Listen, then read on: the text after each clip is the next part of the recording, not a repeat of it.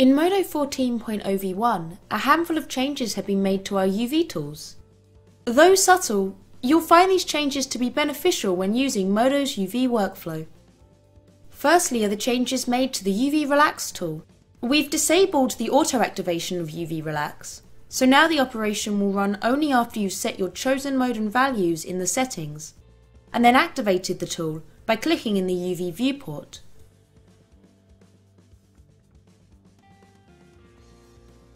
We've also added a new setting, Ignore Edge Selection. It's enabled by default and when enabled, Modo will ignore any selected edges when running the relax operation, excluding the need for you to drop any edge selections remaining from previous UV operations like UV Unwrap. Secondly is a new combination tool, Unwrap and Relax. As the name implies, this tool is a combination of the UV Unwrap and the UV Relax tools allowing you to run both tools in the same step and helping to streamline your UV workflow.